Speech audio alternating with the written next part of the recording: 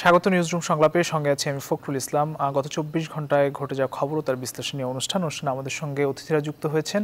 শুরুতেই তাদেরকে পরিচয় করাতে চাই। আমাদের সঙ্গে যুক্ত হয়েছেন অধ্যাপক doctor Saidur Rahman Khasru, chairman pharmacology বিভাগ, বঙ্গবন্ধু শেখ মুজিব মেডিকেল বিশ্ববিদ্যালয়ে আছেন সুভাষ সিংহ রায়, সম্পাদক বাংলা বিচিত্রা ও রাজনীতি বিশ্লেষক। আমাদের সঙ্গে যুক্ত আছেন জহিরুল আলম, বার্তা প্রধান এনটিভি, আছেন মহিউদ্দিন খান মোহন, সাংবাদিক ও রাজনীতি বিশ্লেষক। আপনাদের চারজনকেই স্বাগত জানাচ্ছি। প্রিয় দর্শক, আপনারা থাকবেন আমাদের সঙ্গে পুরো আলোচনায়। আমরা আলোচনা শুরু করার আগে আজ প্রকাশিত কয়েকটি পত্রিকা আমার হাতে রয়েছে, সেগুলোর শিরোনামগুলো শুরুতেই জানাতে চাই। আমার হাতে আছে বাংলাদেশ প্রতিদিন। বাংলাদেশ প্রতিদিন প্রধান শিরোনাম করেছে, কঠোর লকডাউন শুরু, গ্রেফতার চারশো তিন, জরিমানা বারো লাখ টাকা, বন্ধ শিল্প কারখানা জিরো টলারেন্স, আইন শৃঙ্খলা রক্ষাকারী বাহিনী। ঢাকায় ফেরার পথে ভোগান্তি বিধিনিষেধ চলবে চোদ্দ দিন, জনপ্রশাসন মন্ত্রী। প্রধান শিরোনাম করা হয়েছে লকডাউন নিয়ে করোনার এই লড়াইয়ে জিততেই হবে প্রধানমন্ত্রী। ভূমধ্য সাগরে মৃত্যু সতেরো বাংলাদেশির। চলে গেলেন সাইমন ড্রিং এই ছিল বাংলাদেশ প্রতিদিনের প্রধান শিরোনাম। কালের কণ্ঠ শিরোনাম করেছে, এখন বড় দুই চ্যালেঞ্জ, সংক্রমণের লাগাম টানা আর জরুরি হাসপাতাল ব্যবস্থাপনায় তাগিদ। জনবল সংকট মেটাতে স্বেচ্ছাসেবক মাঠে নামানোর আহ্বান। চোদ্দ দিনের লকডাউন যেন ঢিলে ঢালা না হয়, সেদিকে নজর রাখতে বললেন বিশেষজ্ঞরা।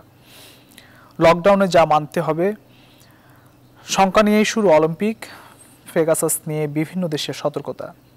চার দিনে সাতশো ছাব্বিশ মৃত্যু সর্বোচ্চ ঢাকায়। পরীক্ষা কম হলেও শনাক্ত উনত্রিশ হাজার দুশো চুয়ান্ন জন, সুস্থ সাঁত্রিশ হাজার দুশো তিয়াত্তর জন।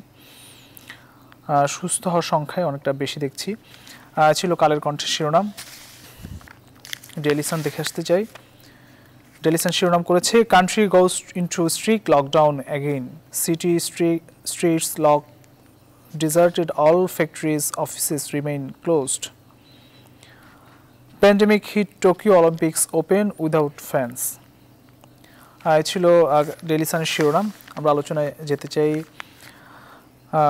আজকে কিছুক্ষণ আগে আসলে মারা গেছেন মুক্তিযোদ্ধা, বিশিষ্ট মুক্তিযোদ্ধা, প্রখ্যাত গণসঙ্গীত শিল্পী ফকির আলমগীর। ইন্নালিল্লাহি ওয়াইন্না ইলাহি রাজিউন। আমরা তার আত্মার বিধি আত্মার মাগফিরাত কামনা করছি। আমরা আলোচনায় ফিরতে চাই। অধ্যাপক ডক্টর সাইদুর রহমান খসরু আপনার কাছে আসতে চাই আসলে প্রথম দিনের লকডাউন নিয়ে নিশ্চয়ই আমরা বিশ্লেষণ করব, জানব অতিথিদের কাছ থেকে।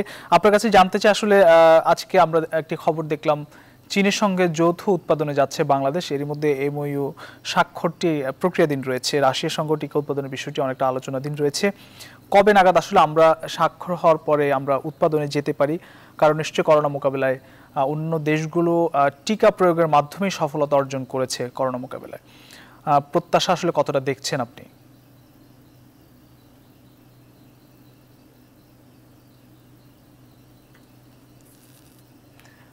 আমরা শুনতে পাচ্ছি না অধ্যাপক ডক্টর সাইদুর রহমান খসরু আপনি কি শুনতে পাচ্ছেন আমাকে? আমি শুনতে পাচ্ছি আমাকে কি শোনা যায়? আমি বলছিলাম যে প্রথমে এই জায়গাটুকু স্পষ্ট হওয়া ভালো যে আসলে বিভিন্ন দেশ টিকাদানের মাধ্যমে মহামারী নিয়ন্ত্রণে সাফল্যটা পাচ্ছে। এইভাবে কনক্লুশন ড্র না করা ভালো মানে ইট ইজ টু আর্লি এরকম একটা কনক্লুশন ড্র করার জন্য আমি সেটা বলছিলাম আর কি। এরপর আসি উৎপাদনের প্রসঙ্গ। উৎপাদন প্রসঙ্গে আসলে অনেকগুলো বিষয় জড়িত আছে। আমরা এখনও ডিটেলটা জানি না, কিন্তু এখানে নির্ভর করবে আসলে উৎপাদনের পর্যন্ত বাংলাদেশে হবে। আমরা যতটুকু বিভিন্ন মিডিয়ার মাধ্যমে জানি, তাতে এখন পর্যন্ত আমরা বুঝতে পারছি যে সেটা হয়তো ফিল ফিনিশ লেভেলে আমাদের হবে।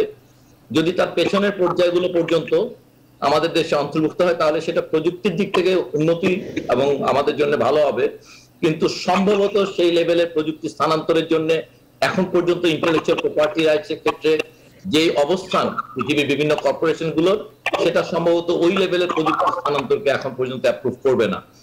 তো যেটাই হোক না কেন, আমরা যেটুকু জানতে পারছি যে প্রযুক্তির স্থানান্তরের মাধ্যমে বাংলাদেশে টিকা উৎপাদন হবে, কিন্তু আমাদের সকল খাতে আসলে এক ধরনের নির্ভরশীলতা থেকে যাবে তারপরও। মানে এই উৎপাদন আমাদের দেশে ভূমিতে হলে পরেই আমরা যে আসলে টিকার ক্ষেত্রে অনেকখানি সার্বভৌমত্ব বা স্বাধীনতা পেয়ে যাব, ব্যাপারটি সেরকম না। কারণ এর মূল উপাদানগুলোর ক্ষেত্রে আমরা আসলে নির্ভরশীল থাকব এবং আপনারা জানেন যে সবচেয়ে পৃথিবীর সর্ববৃহৎ কোম্পানি সেরাম ইন্ডাস্ট্রি পর্যন্ত গতবার আমরা দেখেছি কিছুদিন আগে, কয়েক মাস আগে, যে সেরাম তাদের টিকা উৎপাদনের ক্ষেত্রে একটি মাত্র কাঁচামালের জন্য যুক্তরাষ্ট্রের উপর নির্ভরশীল ছিল বিধায়, কিন্তু তাদের সম্পূর্ণ উৎপাদন প্রক্রিয়া বাধাগ্রস্ত হয়েছিল। অতএব আমাদের দেশে টিকা উৎপাদন, এটি একটি আনন্দের সংবাদ। এটি আমাদেরকে কিছুটা গতি লাভ করবে বটে। আমাদের টিকা উৎপাদনের সামর্থ্য আমাদেরকে টিকা দানে কিছু গতি দান করবে। কিন্তু এটা নিয়ে বেশি উচ্ছ্বসিত হওয়ার মতন তেমন কিছু বিষয় আছে বলে আমি আসলে মনে করি না। যতক্ষণ না আমাদের নিজস্ব টিকা উদ্ভাবন এবং সেটি নিজস্ব প্ল্যান্টে পূর্ণমেয়াদী উদ্ভাবন এবং সেই উৎপাদন প্রক্রিয়ার জন্য প্রয়োজনীয় কাঁচামাল উৎপাদনের সামর্থ্য আমরা অর্জন না করছি ততক্ষণ আসলে আমরা ঠিক টিকা উৎপাদনের মাধ্যমে যে সার্বভৌমত্বের কথা বলি সেটা আসলে হয়ে ওঠা কঠিন হবে বলে আমার মনে হয়। জি ধন্যবাদ আপনার কাছে। আসব। শুভ সিংহরা আপনার কাছে আসতে চাই। লকডাউন নিয়ে আসলে আমাদের অনেক আক্ষেপ ছিল। আপনার, আমরা গতকাল যে লকডাউন দেখলাম, প্রথম দিনে লকডাউন সেটি বাস্তবায়ন কতটা হয়েছে, আপনার মন্তব্য জানতে চাই। কেমন দেখলেন আসলে? কঠোর আসলে কতটা দেখলাম, দেখছেন আপনি? কোথাও একটা শব্দ হচ্ছে। আপনাকে অসংখ্য ধন্যবাদ। মনটা বেশ ভারাক্রান্ত হয়ে গেল। এবং প্রখ্যাত গণসঙ্গীত শিল্পী ফকির আলমগীর যার সাথে আমার ব্যক্তিগত সম্পর্ক প্রায় চল্লিশ বছরের। এবং তিনি প্রথম যে অনুষ্ঠানটি মঞ্চ করেন, তার প্রথম অনুষ্ঠানটি উনিশশো একাশি, বিরাশি সালে। সেটা যশোরের তিনি অনুষ্ঠানটি করেন, জাগরণী ক্রিয়া চক্রের অনেক আয়োজনে। এবং সেখানে একজন স্বেচ্ছাসেবক বলেন, যেভাবে বলেন সংস্কৃতি কর্মী বলেন সেখানে আমার যুক্ত হওয়ার সৌভাগ্য অর্জন করেছিলাম। এবং ঢাকা বিশ্ববিদ্যালয়ের যেই হলটি উনিশশো সালে পনেরোই অক্টোবর ছাদ ধসে উনচল্লিশ জন ছাত্রের জীবন দিয়েছিল এবং অসংখ্য ছাত্রের আহত হয়েছিল। সেই ঘটনার পরপরই যেটা যে পনেরোই অক্টোবরকে ঢাকা বিশ্ববিদ্যালয়ের শোক দিবস হিসেবে আমরা পালন করে থাকি। কোথাও যেন একটা সংযোগের ইয়ে আপনার সংযোগটিতে কি কোনো হল হচ্ছে কিনা আমরা বুঝতে পারছি না।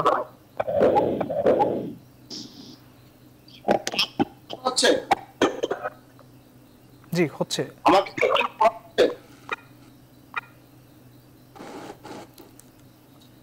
আপনি হ্যাঁ। আমাকে এখন শুনতে পাচ্ছেন আপনি? জি শুনছি এখন ঠিক আছে বলুন। সেই উনিশশো পঁচাশি সালের পনেরো অক্টোবরের পর যে সুক্তরা নাটক দেখতে যে জগন্নাথ হলের অডিটোরিয়ামে একটি ঘটনা ঘটেছিল সেটা প্রতিষ্ঠান কিংবা বলেন সারা বাংলা এটা শোকের ছায়া সেই সময় তারপর অল্প দিনের মধ্যে তিনি একটি এই ঢাকা বিশ্ববিদ্যালয়ের জগন্নাথ হলের এই ট্রাজেডি নিয়ে একটি ক্যাসেট বের করেন যে কারণে তার সাথে ঘনিষ্ঠতা আরও শুরু হয়। এমন একজন মানুষকে আমরা এই নাইনটিনের আক্রান্ত হওয়ার কারণে তাকে বলতে গেলে অকালে হার। তার একাত্তর বছর বয়স হয়েছিল, কিন্তু তার শারীরিক অত্যন্ত বেশ ছিল। তিনি মানুষ ছিলেন শরীরের দিক দিয়ে, মনের দিক দিয়ে। পূর্ণাঙ্গ পত্রিকা আইন আছে, আমাদের যাকে যাকে পড়েছেন তারাই পালায়। আমি আমি দ্রুত দু একটি প্রশ্ন বলি আমার প্রশ্ন আছে, জরুল আলম ভাই আছেন মোহন ভাই আছেন।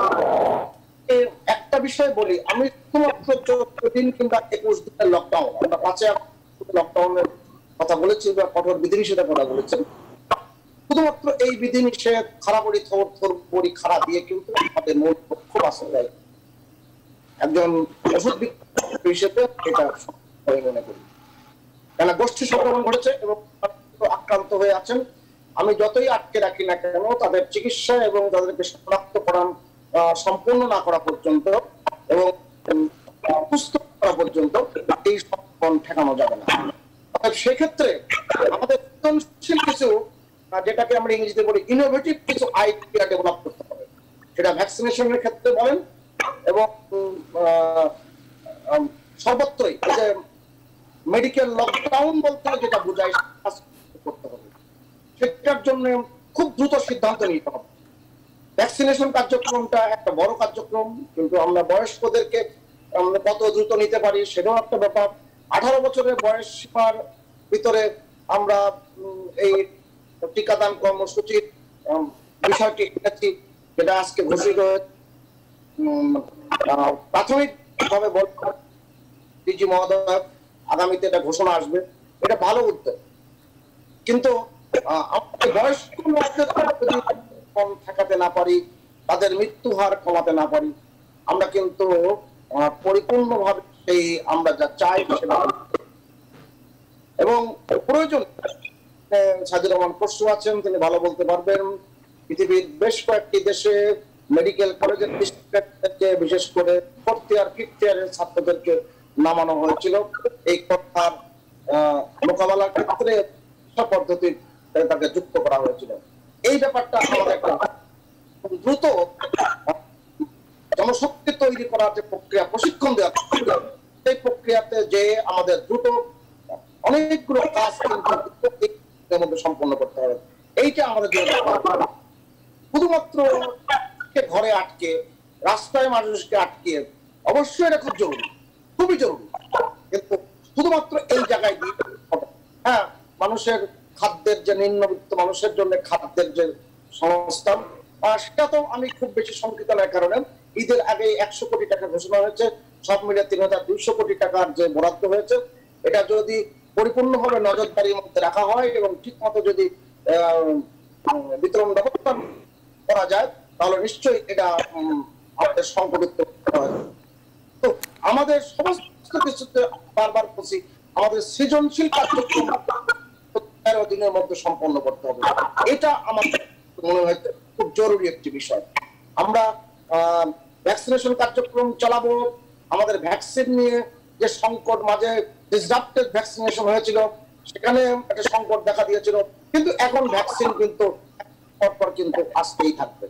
আর যে বিষয়টা সারিদুল পরশু বলেছেন, আমাদের যে সক্ষমতার জায়গাটা আমরা ভ্যাকসিন উৎপাদনের যে জায়গাটা আমি একদম একজন ছাত্র হিসেবে মনে করি আমরা যে এপিআই active এটা দুই হাজার নয় সালে বর্তমান প্রধানমন্ত্রী শেখ হাসিনা, তিনি সরকার পরিচালনার দায়িত্বে এসে মুন্সিগঞ্জের তিনি একটি জায়গা তৈরি করেছেন এবং সেই এপিআই এগিয়েছে, কিন্তু তার সম্পূর্ণতার দিকে কিন্তু আমরা যেতে পারিনি। আমরা যদি এই এ কার্যক্রম এগোতে পারতাম এবং আরও বেশি দুঃখ করতে পারতাম, কিংবা আগামীতে আমরা মাথায় নিয়ে কাজ করি নিশ্চয়ই আমরা অনেক দূরে পারব। এখন হাইলি রেগুলেটেড খুব গুরুত্বপূর্ণ একটি বিষয়। আরেকটি, একটি বাক্য মাননীয় প্রধানমন্ত্রী শেখ হাসিনা, তিনি সাতাশে সেপ্টেম্বর জাতিসংঘের অধিবেশনে বিশেষ জাতিসংঘের সাধারণ অধিবেশনের বক্তৃতা যেখানে বলেছেন, মেধা যদি দেওয়া হয় এবং কারিগরি জ্ঞানের সহযোগিতা দেওয়া হয়। বাংলাদেশ ভ্যাকসিন উৎপাদনে সক্ষম একটি দেশ অর্থাৎ সবকিছু মাথায় রেখে যদি সমন্বিত ভাবে সৃজনশীল দক্ষতাকে আমরা যদি কাজগুলো করতে পারি উদ্ভাবনী শক্তিকে ব্যবহার করতে পারি আমরা এই করোনা মোকাবেলায় অনেক সার্থক পাবো জি, আপনার কাছে আসব। আসব আমরা আপনার কাছে, থাকুন আপনি। জহিরুল আলম, আপনার কাছে একটু আসতে চাই যে আরও তেরো দিন কিন্তু এই লকডাউন চলবে। আমরা আসলে কতটা সফলতা আজকে প্রথম দিন আমরা দেখেছি বা আপনার কি পরামর্শ আছে, কি বলবেন আসলে? মানুষকে আসলে কতটা সচেতন করতে আমরা পেরেছি বা পারব এই সময়টাতে। আজকের তো আজকে তো শুক্রবার, ঈদের পর পরিস্থিতি তো মোটামুটি এমনিতেই কিন্তু থাকে মানে আপনার শহরের চিত্র যা দেখা যায় তাতে তো সমাগম কমই থাকে এটি একটি বিষয় তবে আমরা প্রথম সাধারণত, যেহেতু আজকে তেইশ তারিখ থেকে লকডাউন শুরু হবে, কঠোরভাবে শুরু হবে, এই বার্তাটি বেশ কিছুদিন ধরে আলোচিত হচ্ছে, সেক্ষেত্রে আমি মনে করি যে কিছুটা হলেও প্রভাব বিস্তার করেছে জনজীবনে চলাচলের ক্ষেত্রে। আর ঈদের সময় প্রচুর মানুষ, একটা হিসেব দেখলাম যে প্রায় এক কোটিরও বেশি মানুষ ঘরে ফিরেছে, গ্রামে ফিরেছে। সেখান থেকে শহরে যে কোনো উপায় হোক, মাত্র আট লাখের মতো লোক রাজধানীতে ফিরেছে। তো সেদিক থেকে আমি বলব যে আজকে রাজধানীর চিত্রটি তো যথেষ্ট মানে আশা ব্যক্ত কিন্তু ওই যে আমরা সবসময় ঘর, পড়া, গরু সিঁদুরে মেঘ দেখলে আমরা ভয় পাই। আমরা তো সবসময় এটা দেখেছি যে ওই প্রথম দুই, তিন দিনের এক ধরনের একটা প্রয়োগ থাকে, তারপরে এটা আস্তে আস্তে আস্তে আস্তে শিথিল হতে থাকে। আর আজকে যে আপনি যে করোনার মৃত্যুর কথাটি বললেন যে গত বেশ কয়েকদিনের মধ্যে একটি সর্বনিম্ন মৃত্যু, এটা কিন্তু একটা কি বলব যে এক ধরনের কনফিউজিং একটা ফিগার আসছে যেহেতু ছুটির সময় আপনার শনাক্ত কম হয়েছে অথবা পরীক্ষা কম হচ্ছে পরীক্ষা কম হয়েছে। আপনি বিভিন্ন ডিস্ট্রিক্টে আমরা যে খবর পাচ্ছি যে উপসর্গহীন মৃত্যু কিন্তু বেশি এবং যারা কোভিড টেস্ট পজিটিভ টেস্টেড হচ্ছে না এমন মৃত্যুর সংখ্যা কিন্তু বেশি যারা কিন্তু খাতার মধ্যে আসছে না হিসেবের মধ্যে আসছে না সুতরাং এই যে আমরা কথা বলার সময় বা পরিসম্পদ দেওয়ার সময় এক ধরনের কমপ্লাসেন্সি আমাদের মধ্যে কাজ করে। আমার মনে হয় দিস ইজ দ্য টাইম যখন আমাদের কোনো আত্মতুষ্টিমূলক আলোচনার মধ্যে যাওয়া উচিত নয়। আমরা এখনও একটা খুবই বিপদাপন্ন অবস্থার মধ্যে রয়েছি, খুবই কঠিন, সংকটময় অবস্থার মধ্যে রয়েছি এবং আজকে আপনি ডিজিএইচএস এর কথা শুনলে বোঝা যায় যে পরিস্থিতি, উনি বলেছেন যে পরিস্থিতি সামাল দিতে পারব কিনা সেটা নিয়ে কিন্তু উনি দুর্ভাবনার মধ্যে আছেন। তার মানে যেভাবে মানে কোভিড এর সংক্রমণ রাইজিং এবং গত সাত দিনের যে চিত্র আমরা শহরে দেখেছি বা সারা দেশব্যাপী দেখেছি ক্যাটল মার্কেটকে ঘিরে এবং জনপরিবহনকে কেন্দ্র করে, সেটা কিন্তু কোনোভাবেই আমাদের পরিস্থিতি ইমপ্রুভ হওয়ার মতো পরিস্থিতির মধ্যে আছে বলে আমি ব্যক্তিগতভাবে মনে করি না। কাজেই আমাদের মনে হয় যে কিছুটা সময় আমাদের অপেক্ষা করতে হবে এবং এনফোর্সমেন্টের দিক থেকে আজকে ফ্রাইডে সেটি যথেষ্ট, ধরেন রাজধানীতে আপনি কিছু জরিমানার কথা বলেছেন কিংবা ল এনফোর্সিং এজেন্সিও মোটামুটি ভাবে আহ, সক্রিয় ছিল। কিন্তু এটা যা কথায় বলা হয়েছে যেটা সবসময় বলে আসছি যে কথা আমরা খুব ভালো ভালো বলছি আমাদের নিয়ম কানুনও খুব ভালো ভালো আছে কিন্তু এনফোর্সমেন্টের ক্ষেত্রে আমরা কিন্তু যথেষ্ট দুর্বলতার পরিচয় দিয়ে আসছি এবং এটা সব ক্ষেত্রে সুতরাং কর্তৃপক্ষ যে সিদ্ধান্তটি নিয়েছেন সেটা যথেষ্ট সিরিয়াসনেস তারা দেখাবেন এবং ল এনফোর্সিং এজেন্সি হ্যাঁ অনেকে বলবেন যে ল এনফোর্সিং এজেন্সি দিয়ে হবে না মানুষকে সজাগ হতে হবে। ডেফিনেটলি মানুষের সজাগ হওয়ার কোনো বিকল্প নেই। অধিকাংশ গ্রামের মানুষ দেখা যাচ্ছে যে তারা কোভিড কিন্তু টেস্টই করাচ্ছেন না। দশ বারো দিন চলে যাচ্ছে, তারা কিন্তু জ্বর, সর্দি, কাশি এগুলোকে গুরুত্ব দিচ্ছেন না। যখন শ্বাসকষ্ট হচ্ছে তখন তারা হসপিটালে যাচ্ছেন। ওই বারো তেরো দিনের মধ্যে তাদের কিন্তু কোভিড নেগেটিভ চলে আসছে, কিন্তু তারা শ্বাসকষ্টে কিন্তু মারা যাচ্ছে।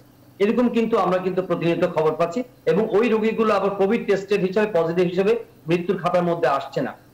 আমার মনে হয় এই বিষয়গুলো সিরিয়াসলি মাথায় রাখতে হবে এবং এখন কিন্তু শহরের চাইতেও গ্রামের পরিস্থিতি যথেষ্ট উদ্বেগজনক এবং ওই গ্রামের মানুষরা জানেই না যে তারা কোভিড আক্রান্ত হয়েছেন কিনা। এই বিষয়টি সিরিয়াসলি আমাদের দেখতে হবে। আর আপনি টিকার বিষয়টি যে আলোচনা করেছেন আমার মনে হয় না যে টিকা নিয়েও কিন্তু আমরা যথেষ্ট হাইপ তুলছি যে আমরা খুব টিকা পেয়ে যাচ্ছি। আমরা যেসব কমিটমেন্ট পাচ্ছি, সেগুলো কিন্তু আমাদের প্রয়োজনের তুলনায় যেই জনসংখ্যা আমাদের, সেই জনসংখ্যার তুলনায় এদেরকে ভ্যাকসিনেটেড করবার জন্য আমাদের আরও বেশি ফাস্টার গতিতে টিকা পেতে হবে, আরও বড় অ্যামাউন্টের টিকা পেতে হবে। সুতরাং যেই গতিতে পাচ্ছে এটাতে আশাবাদী হওয়ার মতো যথেষ্ট কোনো কারণ আমি দেখছি না। এই পেসে যদি চলতে থাকে, তাহলে দু সালের ফার্স্ট কোয়ার্টারের মধ্যে সবাইকে এইটি পার্সেন্টকে টিকা দেওয়া সম্ভব হবে বলে আমি মনে করি না। আমার মনে হয় যে এটা এই গতিতে চলতে, চললে সামনে বলে আরও দুই তিন বছর সময় লেগে যাবে যদি পুরো জনগোষ্ঠীকে আমাদের টিকার মধ্যে আনতে হয়। সুতরাং গতিটাকে আরও দ্রুততর করতে হবে এবং আমি প্রফেসর সাইদুর রহমান খসরুর সঙ্গে একমত যে আমাদের সার্বভৌমত্ব অর্জন করতে হলে আমাদের আরও ক্রেডিবল আরও রিমার্কেবল আরও দৃশ্যমান কিছু অগ্রগতি দেখাতে হবে। আমরা কিন্তু প্রতিনিয়ত আলাপ করছি যে আমাদের চায়না, রাশিয়া, অমুক তমুক তারা আমাদের সঙ্গে পার্টনারশিপ করছেন এবং জয়েন্ট ভেঞ্চারের টিকা উৎপাদনের জন্য কার্যক্রম শুরু হয়েছে। This is not very remarkable remarkable investment এবং সিরিয়াসনেস কিন্তু আরেকটু অন্য ধাপে আমরা দেখতে চাই। এবং এটার কিন্তু কোনো বিকল্প নাই। এখন আমরা, উনি কিন্তু প্রফেসর খসরু কিন্তু এর আগে একবার বলেছেন, আমার মনে আছে, যে আমরা এখন টিকা কিনে আনছি। কিন্তু একটা সময় আমাদের পার্টনারশিপে যেতে হবে যৌথ প্রযোজনায়, আর একটা সময় এসে আমাদের স্বাধীনভাবে টিকা উৎপাদনের ক্ষমতা অর্জন করতে হবে। এবং সেই ক্ষমতা অর্জন করার জন্য যে পরিমাণ ইনভেস্টমেন্ট দরকার আমাদের কর্তৃপক্ষীয় লেভেলে হ্যাঁ মুখে বলছি, আশা প্রকাশ করছি কাজ শুরু হয়েছে ইত্যাদি বয়ানের মধ্যে আমরা সীমিত আছি। কিন্তু আমার মনে হয় যে এখানে আরও বেশি ইন্টেন্সিফাই করতে হবে আমাদের এফোর্টকে কারণ আমরা যদি এই নেশনকে অন্যান্য কম আমরা বিদেশের কথা বললাম যে তারা মোটামুটি নিয়ন্ত্রণ করে এনেছে। যদিও এটা এখনও সুনির্দিষ্টভাবে খুব কনভিকশন নিয়ে বলার সময় এখন আসেনি। কিন্তু আমাদেরকে সার্বভৌমত্ব অর্জন করতে হবে ভ্যাকসিনেশন কর্মসূচিতে। সেটার জন্য আরও জোরালো অর্থ ব্যয় থেকে শুরু করে আরও বড় ধরনের প্রকল্প গ্রহণ করতে হবে এবং সেটার কোনো বিকল্প নেই। তার আগে আমাদের অ্যাটলিস্ট এই টু উইকস এর লকডাউনটাকে অনেক বেশি সিরিয়াসলি এনফোর্স করতে হবে। যদি আমরা কিছুটা ইমপ্রুভ করতে চাই পরিস্থিতি, কিন্তু পরিস্থিতি ইমপ্রুভ হয়েছে বা হচ্ছে, সেটা মনে করার মতো, সেটা বলার মতো কোনো সময় এখনও আসেনি। জি, আসছি আপনার কাছে। আমরা একটু মহিউদ্দিন খান মোহন আপনার কাছে আসতে চাই। যে লকডাউন বাস্তবায়নের ক্ষেত্রে আসলে বা ধরে রাখার ক্ষেত্রে আমরা দীর্ঘদিন ধরে বা অনেক দিন ধরে দু তিন দিন যাওয়ার পর আসলে সেই সফলতাটা থাকে না আসলে। আমরা সেই ক্ষেত্রে আসলে যে নিম্ন আয়ের মানুষ রয়েছে দরিদ্র জনগোষ্ঠী রয়েছে, অনেক তাদেরকে আসলে সহায়তার একটি বিষয় থাকে তারা, তাদের জীবিকার একটি বিষয় থাকে। সেখানে আসলে সরকারি কিছু উদ্যোগ নেওয়া হয়েছে, সেটা আসলে কতটা যথেষ্ট আপনার কাছে মনে হয়? একই সঙ্গে বেসরকারি উদ্যোগ কিন্তু আমরা সেভাবে দেখি না। কি বলবেন? ধন্যবাদ। মনটা ভীষণ খারাপ। সুভাষ বাবু বলেছেন, ফকির আলমগীরের মৃত্যু আসলে আমাকে খুব বেদনার্থ করেছে। আমি ওনার একজন ভক্ত। ওনার মতো গণশিল্পী বাংলাদেশে আর হবে কিনা আমার যথেষ্ট সন্দেহ আছে। এদেশের মানুষকে জাগরিত করার জন্য, উদ্বুদ্ধ করার জন্য, তার যে গণসঙ্গীত আমরা শুনেছি সেই আশির দশকে সেরকম গান আর কেউ গাইবে? চারণ শিল্পীর মতো। আমার মনে হয় না। আর পাবো না। আমরা অন্তত আমাদের জীবন দশায় আমি তার রুহের মাত্রা কামনা করছি। যে প্রসঙ্গটি আপনি উপস্থাপন করেছেন, যে লকডাউনে নিম্নবিত্ত বা দরিদ্র মানুষের আয়, রোজগার, সাহায্য, সহযোগিতার কথা। হ্যাঁ এটা ঠিক যে গত টার্মে আর কি গত বছরে যেটা হয়েছিল লকডাউন শুরু হওয়ার পরে, এই করোনার আক্রমণের পরে সরকারি এবং বেসরকারি উভয় খাত থেকেই বেশ একটা ভালো পরিমাণের সাহায্য দরিদ্র মানুষগুলোর কাছে গিয়েছিল। তারা পেয়েছিল। কিন্তু এবার এবার নতুন করে যখন বুস্ট করল সংক্রমণটা এবং মানুষ ঘরে বসে গেল লকডাউন দিল সরকার বিভিন্ন পর্যায়ে, আমরা কিন্তু সেভাবে সাহায্যের কোনো পরিস্থিতি সৃষ্টি হতে দেখলাম না। সরকারি সাহায্য অপ্রতুল, এটা আমি বলবোই। যে সাহায্য সরকার ঘোষণা করেছে ঈদ উপলক্ষে, ওই যে মোবাইল মেসেজে আড়াই হাজার টাকা করে দরিদ্র মানুষদের পাঠানো হয়েছে বা যে তিন হাজার কোটি টাকার কথা শুনলাম যে এই বরাদ্দ করা হয়েছে। এই সাহায্যগুলো দরিদ্র মানুষরা পেয়েছে কিনা, সেটা কিন্তু আপনাদের টিভি রিপোর্টিং থেকে আমরা জানতে পারছি কতটুকু পেয়েছে, কতটুকু পায়নি। হতাশা ব্যক্ত করছে প্রায় প্রতিটি রিপোর্টে আমরা দেখছি, জনসাধারণ হতাশা ব্যক্ত করছে। এখন কথা হলো? জীবন এবং জীবিকা, দুইটা জিনিসের কথা কিন্তু প্রায় শুনি আমরা। জীবন, জীবিকার দিকে খেয়াল রাখতে হবে। এখন আমার প্রশ্ন হলো, জীবন আগে না জীবিকা আগে? আগে তো জীবনকে বাঁচাতে হবে। তারপর জীবিকার সন্ধানে আমরা নামবো।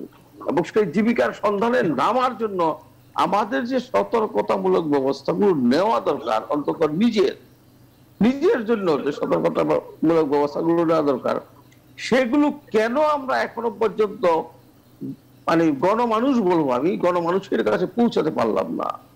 এই যে জনসচেতনতা তৈরির জন্য যে প্রচারণা চালাতে হয়, আমরা বিভিন্ন সময় দেখেছি, বিভিন্ন ক্ষেত্রে। আপনারা টেলিভিশনে প্রচার করছেন, বিভিন্ন সংস্থা প্রচার করছে, কিন্তু মানুষ সচেতন হচ্ছে না। কেন সচেতন হচ্ছে না? তাদের মধ্যে একটা ভীতিরও সৃষ্টি করা যাচ্ছে না যে করোনা তোমাদেরকে মেরে ফেলতে পারে। দরিদ্র মানুষের মধ্যে, যারা খেটে খাওয়া মানুষ আমি গ্রামে গিয়েছিলাম কয়েকদিন আগে। তারা বলছে আর রাখেন সাহেব গ্রামে করোনা করোনা গরিব মানুষকে মারে না সব বড় লোকরা মরে। এর একটা ধারণা সৃষ্টি হয়েছে কারণ হচ্ছে ফকির আলমগীর সাহেব ইন্তেকাল করেছেন গতকাল। এটা প্রচার হবে ফকির আলমগীর উনি অনেক বড় মানুষ উনি মারা গেছেন। কিন্তু এই যে একশো ছেষট্টি জন মারা গেছেন গতকাল? এই একশো ছেষট্টি জন সবাই কি ফকির আলমগীরের মতো বড় মানুষ? এর মধ্যে কি দরিদ্র মানুষ নাই? দরিদ্র মানুষের মৃত্যুর ঝুঁকিটা তো আরও অনেক বেশি। তারা চিকিৎসা করাতে পারবে না ঠিক মতো হাসপাতালে সিট পাবে না। সিসিইউ ব্যবহার করার তো প্রশ্নই আসে না তাদের। অনেক সময় পাবেও না। তাহলে? তাহলে তাদেরকে সচেতন করতে হবে। আমরা বারবার বলছি, সরকার একটা কমি সিদ্ধান্ত নিচ্ছে শেষ পর্যন্ত, দেড় বছর পরেই, যে জনপ্রতিনিধিদেরকে সম্পৃক্ত করা হবে। কিন্তু বিভিন্ন এলাকায় আমি খবর নিয়ে দেখেছি, জনপ্রতিনিধিরা এখনও পর্যন্ত সেভাবে মাঠে নামেননি। যে জনগণকে বলবেন ভাই তোমরা লকডাউনের সময় ঘরে থাকো নিজেকে সেফ রাখো অন্যকে সেফ রাখো। মাস্ক পরো স্যানিটাইজার ব্যবহার করো সাবান দিয়ে হাত ধো এগুলো বলবে না। আমরা কিন্তু প্রথম যখন করোনার আক্রমণটা হয় তখন কিন্তু বিভিন্ন ছাত্র সংগঠনকে আমরা দেখেছি নিজেরা স্যালাইন বানিয়ে বিতরণ করে স্যানিটাইজার বানিয়ে বিতরণ করেছে নিজেরা বানিয়ে। এখন কিন্তু সেগুলো দেখা যাচ্ছে না। কেন দেখা যাচ্ছে না? তাদেরকে এই যে কর্মী বাহিনী ছাত্র যুবক আপনার কাছে আসছি আমরা। করা হ্যাঁ উদ্বুদ্ধ করার জন্য যে উদ্যোগটা প্রয়োজন সেই উদ্যোগের অভাব আমরা ভীষণ লক্ষ্য আসছি আপনার কাছে আমরা আমরা আসছি আপনার কাছে আবারও। কালের কণ্ঠের শিরোনাম দেখলাম। এখন বড় দুই চ্যালেঞ্জ সংক্রমণের লাগাম টানা আর জরুরি হাসপাতাল ব্যবস্থাপনায় তাগিদ জনবল সংকট মেটাতে স্বেচ্ছাসেবক মাঠে নামানোর আহ্বান। আহ, অগাস্টের শুরু থেকে রোগীর চাপ বাড়ার একটি শঙ্কা রয়েছে। জনাব অধ্যাপক ডক্টর সাইদুর রহমান খসরু আসলে বারবারই বলা হচ্ছে যে হাসপাতাল ব্যবস্থাপনা উন্নত করার ব্যাপার কথা বলা হচ্ছে প্রায় দু বছরের কাছাকাছি হয়ে গেল। আমরা কতটা আসলে উন্নত করতে পেরেছি সেই ব্যবস্থাপনা এবং জনবল সংকটও রয়েছে। অগাস্টে রোগীর চাপ বাড়ার একটি সংখ্যা রয়েছে। কি বলবেন একদম শেষ বক্তব্য। মানে হাসপাতালের সামর্থ্য বৃদ্ধির ক্ষেত্রে যদি বলেন যে হ্যাঁ সেটা সামর্থ্য বেড়েছে। অক্সিজেন সরবরাহের সামর্থ্য বেড়েছে জেলা পর্যায়ে। মানে এগুলোকে অঙ্কে দেখলে পরে খুব মনে হবে যে হ্যাঁ এত সংখ্যা ছিল সজ্জা, এখন সংখ্যাটা এত হয়েছে। কিন্তু যেটি মূল ব্যাপার, আপনি যে সেটা সবার শেষে বলছেন জন জন মানে জনবল। ব্যাপারটা হচ্ছে যে, যদি আইসিইউ বেড বাড়িয়েছি আমরা আমরা কোভিড বেড বাড়িয়েছি, কিন্তু চিকিৎসক কয়জন বেড়েছে? তাহলে তাতে যেটা ঘটলো, আসলে আপনি যখন নাকি অন্য ইউনিট থেকে, ধরলাম কার্ডিওলজি রিউমাটোলজি অথবা নেফ্রোলজি থেকে ডাক্তার সরিয়ে আমরা কোভিড ইউনিট চালু করলাম এবং আমরা সেই শয্যা সংখ্যা বাড়ালাম এর ফলে তো আসলে নন কোভিড ওই ক্রনিক ডিজিজের রোগীরা মারা যাচ্ছে। তারা চিকিৎসা বঞ্চিত হচ্ছে। তো আমরা আসলে জনবল রিক্রুটমেন্টের ক্ষেত্রে আমি শুধু একটা অ্যানালজি দিব যে যে কোনো যুদ্ধ চলার সময় আপনারা খেয়াল করবেন রিক্রুটিং সেন্টারগুলো কীভাবে কাজ করে। লাইন ধরে থাকে রিক্রুটমেন্ট হয় শুধু হাইট এবং ব্রেথ চেস্ট মেপে ভেতরে পাঠানো হয় ট্রেনিং ক্রাস ট্রেনিং দিয়ে যুদ্ধ মাঠে পাঠানো হয়। তাদেরকে কি কমিশন হয় না? দ্বিতীয় বিশ্বযুদ্ধে কি কমিশন দেওয়া হয়নি? বাংলাদেশের মুক্তিযুদ্ধ চলাকালে কি কমিশন হয়নি? অর্থাৎ রিক্রুটমেন্টের একটা হচ্ছে যুদ্ধকালীন রিক্রুটমেন্ট প্রসেস আছে। এই মহামারী চলাকালীন জনবল রিক্রুটমেন্টের ডাক্তার, নার্স টেকনোলজিস্ট রিক্রুটমেন্টের প্রসেসটা যুদ্ধকালীন হওয়া উচিত ছিল। এবং সেগুলোকে রেগুলারাইজ করা, কি করা হবে না হবে, সেগুলো পরবর্তী ব্যাপার। স্বেচ্ছাসেবক, একটু আগে বলছিলেন কালের কণ্ঠের শিরোনামে। স্বেচ্ছাসেবক হাসপাতাল বা কোন পর্যায়ে কাজ করতে পারে সেটা বুঝতে পারা দরকার। আমি সেই ব্যাপারটা মনে রাখতে হবে। স্বেচ্ছাসেবকরা অবশ্যই কাজ করবেন টিকাদানের কর্মসূচিকে সাপোর্ট করবেন আইসোলেশন সেন্টারে রোগীকে মেন্টাল সাপোর্ট দিবেন, এই ধরনের কিছু কাজ স্বেচ্ছাসেবক দিয়ে চলতে পারে। কিন্তু সত্যিকারের কোভিড চিকিৎসা, আপনারা কি একবার কোভিড হাসপাতালে ক্যামেরা যখন চলে, তখন দেখেছেন তাকে? ওই পিপি মাস্ক পরে নয় ঘণ্টার সময় এটা স্বেচ্ছাসেবকের কাজ। এইটার, এটা শুধুমাত্র ডনিং এন্ড ডফিং মানে এটা পড়া এবং খোলার যে শৃঙ্খলা, সেটা চিকিৎসকদেরকে শেখাতেই তো দীর্ঘ সময় লেগে যায়। আমি বলব যে আসলে জনবল একেবারে যুদ্ধাবস্থায় নিয়ে জনবল রিক্রুট না করা হলে এই হাসপাতালের শয্যা সংখ্যা বৃদ্ধির আলোচনা, অক্সিজেন সরবরাহের আলোচনা, এগুলো অর্থহীন হয়ে যাবে। কারণ এগুলো পেছনকার মানুষকে যদি আমরা রেডি করতে না পারি। অতএব দেশে আমি মনে করি জরুরি ভিত্তিতে চিকিৎসক, নার্স এবং টেকনোলজি জরুরি ভিত্তিতে রিক্রুট করা দরকার। অক্সিজেন সরবরাহ, এটি ব্যবস্থা একটা জায়গায় চলে এসছে। আমার আশাবাদী যে যেহেতু ইন্ডাস্ট্রিয়াল অক্সিজেন ট্রান্সফর্ম করা হচ্ছে মেডিকেল ফর্মে আশা করা যায় এটা মেডিকেল গ্রেড অক্সিজেন হয়ে যাবে। সেটা হয়তোবা পুরো মাত্রায় না হলেও অনেকখানি মিট করতে পারবে। কিন্তু সে অক্সিজেন তো সঠিক নিয়মে রোগীর শরীরে প্রবেশ করাতে পারতে হবে। সেটার জন্য যে ডিভাইস এন্ড ট্রেনিং সেইগুলোকে তো ব্যবস্থা করা লাগবে। আর এই ব্যাপারটা আরেকটা ব্যাপার বারবার বলছি ফিল্ড হাসপাতাল আমরা এনে বিল্ডিং এর মধ্যে করি। এটা কি আমাদের কোনো ধারণাই নাই মানে ফিল্ড হাসপাতাল শব্দের যে অর্থ সেটার সঙ্গেই তো এটা কনফ্লিক্ট ফিল্ড হাসপাতাল তৈরি করি আমরা পাঁচতলা বিল্ডিং এ। ফিল্ড হাসপাতালে আমরা রাখি আইসি ফিল্ড হাসপাতাল একটা জরুরি বন্দোবস্ত যুদ্ধের জন্য, আমরা তো কনসেপচুয়ালি আমরা বুঝতে পারি। অতএব সেই রকম ফিল্ড হাসপাতাল জেলা উপজেলায় আমরা বিভিন্ন কমিউনিটি সেন্টার স্কুল কলেজ সেই জায়গাগুলোকে কনভার্ট করে ইমিডিয়েটলি এবং সেটার জন্য সবচেয়ে উপযোগী বা ট্রেন্ড হচ্ছে সেনাবাহিনী। অতএব সেনাবাহিনীর এই মিলিটারি যে, তাদের যে মেডিকেল আর্মি মিলিটারি উইং আছে মেডিকেল উইং তাদের মাধ্যমে আসলে এই ধরনের জিনিসগুলো এস্টাবলিশ করা দরকার। এবং আমি খুবই মানে সতর্কবাণী দিতে চাই যে আমাদের টোটাল স্বাস্থ্য বন্দোবস্ত তার সর্বোচ্চ সীমার প্রায় কাছে।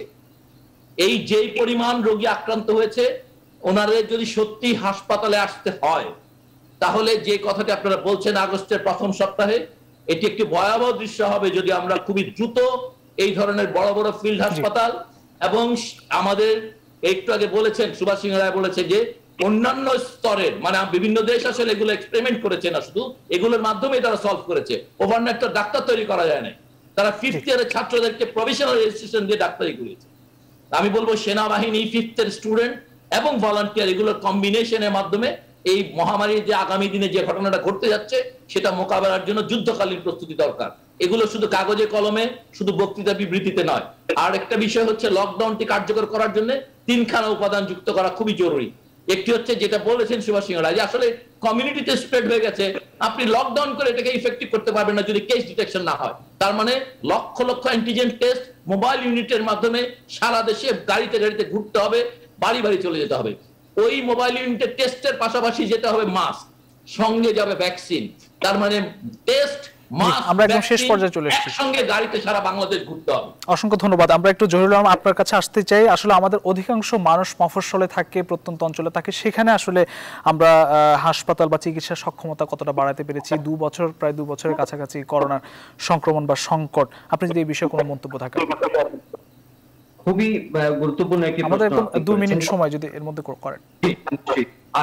এটি হচ্ছে যে আজকে যে আজকে পনেরো ষোলো মাস ধরে যে আমরা একটা স্ট্রাগল করছি এবং সারা পৃথিবীতে যে ডিজাস্টারটা আমরা দেখেছি তো শুধু এটা মোকাবেলার জন্য আমরা যেই একটা মাস্টার প্ল্যান বা একটা স্ট্র্যাটেজিক প্ল্যান দরকার ছিল সেই পরিকল্পনা কিন্তু আমরা দেখতে পাইনি এবং এর কোনো ফোরকাস্টও আমাদের আমাদের ছিল না। সুতরাং এই মুহূর্তে ধরেন যে সারা দেশে যেভাবে ছড়িয়ে পড়েছে এবং এটা আজকে এক দুই মাস ধরে কিন্তু আলোচনা হচ্ছে যে ডিস্ট্রিক্ট লেভেলে যে স্বাস্থ্য ব্যবস্থার যে ক্যাপাসিটি সেই ক্যাপাসিটি যখন পরিস্থিতি আজকের অবস্থা অ্যাগ্রিভেট করেছে, সেখানে কিন্তু সর্বোচ্চ পরিমাণ সাপোর্ট দেওয়ার ক্ষমতা, যেটা একটু আগে প্রফেসর সাহেব উল্লেখ করে যে এখানে কিন্তু সর্বোচ্চ সীমায় পৌঁছে গেছে। যদি কোনো কারণে ডেটোরেট করে, পরিস্থিতি যদি অ্যাগ্রিভেট করে, সেটা কীভাবে মোকাবেলা করা হবে, সেটার কিন্তু কোনো ব্লুপ্রিন্ট আমরা কিন্তু এখনও দেখি না কোনো রোড ম্যাপ কিন্তু আমরা কিন্তু দেখি নাই। সেটা একটা হতে পারতো যে জনবলের দিক থেকে জনবলের দিক থেকে ঠিক আছে, নতুন রিক্রুটমেন্ট একটা সময় সাপেক্ষ ব্যাপার যেটা যুদ্ধকালীন একটা বা আপৎকালীন একটা পরিস্থিতির মাধ্যমে মানে রিক্রুট করা যেত। কিন্তু যা আমাদের সামর্থ্য আছে কেন্দ্রীয়ভাবে তাদেরকে রেলোকেট করার যে একটা সুযোগ ছিল, সেই রেলোকেশনের প্রক্রিয়াটা কিন্তু আমরা কিন্তু দেখি নাই বিভিন্ন ডিস্ট্রিক্টে যখন পরিস্থিতি অবনতি হয়েছে এবং মানুষের যখন মৃত্যু সংখ্যা বাড়ছে, সেখানে আমরা হসপিটালগুলোতে জেলা পর্যায়ে, উপজেলা পর্যায়ে আমরা কিন্তু শহর থেকে কিন্তু কিছু টিম তৈরি করে সেখানে কিন্তু পাঠাতে পারতাম এক্সপার্ট টিম পাঠাতে পারতাম, সেটা কিন্তু করা হয়নি। আমার মনে হয় যে এই পরিকল্পনাগুলো এখন উইদাউট ফার্দার ডিলে এখন কিন্তু এটা করবার সময় এবং আমি আমি এটার সঙ্গে সম্পূর্ণ একমত যে যারা শিক্ষার্থী আছেন তাদেরকে কীভাবে এবং তাদের ভ্যাকসিনেশনও কিন্তু কমপ্লিট হয়ে যাওয়ার কথা। তাদেরকে এই প্রক্রিয়ার সঙ্গে সম্পৃক্ত করা। একই সঙ্গে যারা চাকরি প্রার্থী আছেন, যারা এখন কর্ম জীবনে ঢোকার জন্য প্রস্তুত আছেন, তাদেরকে কম জটিলতায় কম মানে প্রসিডিউরাল ঝামেলা এড়িয়ে তাদেরকে কীভাবে এই কাজের মধ্যে সম্পৃক্ত করা যায় সেটার জন্য এখন একটা কন্টিনজেন্সি প্ল্যান করা দরকার। আদারওয়াইজ যদি আমরা গড ফরবি আমরা আমরা চাই না যে পরিস্থিতি অগাস্ট মাসে এর থেকে খারাপ অবনতি হোক এটা কেউই আশা করে না। কিন্তু সেরকম যদি পরিস্থিতি হয় তাহলে অবশ্যই অবশ্যই এই মুহূর্ত থেকে আমাদের সেই প্রস্তুতিটা নেওয়া উচিত। জি অসংখ্য ধন্যবাদ। থাকুন আপনি আমাদের সঙ্গে। জনাব সুভাষ সিংহরা আপনার কাছে আসতে চাই আমরা যে লকডাউন এখন চলছে কিংবা মানুষের যে সচেতনতা এটি অত্যন্ত জরুরি। এক্ষেত্রে বারবার বলা হচ্ছে স্থানীয় জনপ্রতিনিধি বা সকল জনপ্রতিনিধিদের এগিয়ে আসার তারা আসলে পারেন যে মানুষকে সত্যিকারে সচেতন করে তুলতে। তাদেরকে আসলে আমরা সেইভাবে দেখি না জনপ্রতিনিধি তারা কেন এগিয়ে আসছেন না? আপনি যদি বলেন একদম দু মিনিটে। এবং আপনি যে প্রশ্নটি করেছেন, সে প্রশ্নের উত্তরটা হচ্ছে এক কথায়, আমাদের যে কমিউনিটি বেস যে অ্যাপ্রোচটা হওয়া দরকার ছিল যথাযথভাবে, সেটা কিন্তু আমরা করতে পারি নাই। কেন করতে পারি নাই? সেই ব্যাখ্যা তো অনেক সময় প্রয়োজন, সেটা আমি যাচ্ছি না। আমাদের একটা মনে রাখা দরকার যে আমরা যে যুদ্ধকালীন সময়ে যেটা যাচ্ছি, আমরা এই তেরো দিন আমাদের জন্য খুব গুরুত্বপূর্ণ। এখানে আমাকে টেস্ট করাতে হবে ঠিক সময় মতো। এবং শনাক্ত করতে হবে। গণমাধ্যম কিন্তু একটা বাক্য ব্যবহার করে যে শনাক্তর বিবেচনায় এবং এটা কিন্তু প্রশস্ত শব্দ। প্রচ্ছন্ন যে কোভিড সেই আমাদের জন্য কিন্তু একটা, তার জন্য তো হুমকি তো বটেই, তার পরিবারের জন্য হুমকি বটেই, আমাদের সকলের জন্য হুমকি এই জায়গাটা কিন্তু আমরা কিন্তু মাথায় রাখছি না। আর সমন্বিত স্বাস্থ্য ব্যবস্থাপনা, এটা দ্রুততার সাথে করতে হবে খুব দ্রুত। পাবলিক সার্ভিস কমিশনে আট হাজারের অধিক নার্স নিয়োগ প্রক্রিয়া একবারে শেষ পর্যায়ে। আমি মনে করি পাবলিক সার্ভিস এক কথা যদি মন্তব্য করেন আপনি। যে এই আট হাজার নার্সের নিয়োগের যে প্রক্রিয়ায় পরীক্ষা দিয়েছে তার মধ্যে বারো হাজার কিন্তু তাদের প্রিলিমিনারি এবং আরেকটি পরীক্ষা সম্পন্ন করেছে। অতি দ্রুত এই কাজটি সম্পন্ন করা দরকার ছিল। আরও দ্রুত সম্পন্ন করতে পারলে আমাদের সুবিধা হতো। আরেকটি ব্যাপার ফিল্ড ফিল্ড মানেই হচ্ছে, এর সঙ্গে কিন্তু ফিল্ড শব্দটি আছে। আমরা এই কথাটা কিন্তু মাঝে মাঝে ভুলে যাই। আমরা এখনও পর্যন্ত কেন গত দেড় বছরে আমরা স্কুল, কলেজ যেগুলো খালি রয়েছে, কিংবা কমিউনিটি যে জায়গাগুলো রয়েছে, এমনকি কমিউনিটি ক্লিনিকের বড় কয়েকটি জায়গা আছে, সেই জায়গা আমরা কিন্তু ব্যবহার করি নাই। আমরা এখন দোষারোপের জায়গায় না যে শুধু একটা বলব মানুষের যে বেপরোয়া চলাফেরা তারা যে বিস্তৃত ঘোরাফেরা সেই জায়গাটা বন্ধ করতে গেলে কমিউনিটি বেস অ্যাপ্রোচ দরকার। জি অসংখ্য ধন্যবাদ। আমাদের সময় একদম শেষ। আমরা একটু মহিউদ্দিন খান মোহন আপনাকে শুনতে চাই আপনার শেষ বক্তব্য জানতে চাই একদম দু মিনিটে যদি শেষ করেন। তথ্য দিক পোস্ট কোভিড পালমোনারি ফাইব্রোসিস দেখো একটা গুরুত্বপূর্ণ আমাদের সময় একদম শেষ। আমরা একটু মহিউদ্দিন খান মোহন আপনার কাছে আসতে চাই। আচ্ছা, সাধারণ রোগী আছে যক্ষার রোগী আছে সিওপিডি পেশেন্ট আছে অন্যান্য যে রোগীগুলো আছে সেই রোগীগুলোর চিকিৎসাও কিন্তু খুব জি জরুরি। জনাব সুভাষ দা আমাদের সময় একেবারেই শেষ। আমরা একটু মহিউদ্দিন খান মোহন আপনার কাছে একটু আসতে চাই আপনার একদম শেষ বক্তব্য শুনতে চাই। হ্যাঁ শেষ বক্তব্য হলো সুভাষবাবুর বক্তব্য বক্তব্য দিয়ে আমি শেষ করতে চাই। উনি শুধু প্রয়োজনের কথা প্রয়োজনের কথা বললেন। করা উচিত বললেন করা উচিত। কিন্তু করবেটা কি? করবে নিশ্চয়ই সরকার এবং উনি সেই সরকারের একজন সমর্থক। আমরা জানি, কিন্তু সরকার কেন আমাদের পরামর্শ না শুনুক? অর্থাৎ সুভাষ বাবুর পরামর্শগুলো তো শোনা উচিত। উনি যে কথাগুলো বলেছেন, জনস্বার্থে বলেছেন। এই পরামর্শগুলো সরকারের স্বাস্থ্য বিভাগ যদি শুনে এবং সেগুলো যদি কার্যকর করে, তাহলে কোভিড পরিস্থিতি উন্নতি হতে পারে। একটি কথা বলতে চাই, সুভাষবাবু বলেছেন যে আগামী তেরো দিন আমাদের জন্য খুব গুরুত্বপূর্ণ।